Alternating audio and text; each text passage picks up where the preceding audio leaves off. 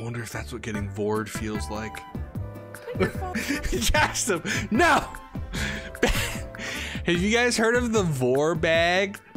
It's a giant latex bag, and it's like full of lotion on the inside. and, and what you do is you crawl into it and you zip and you like seal it up, and then a vacuum cleaner. Like you can do it with or without the vacuum suction, but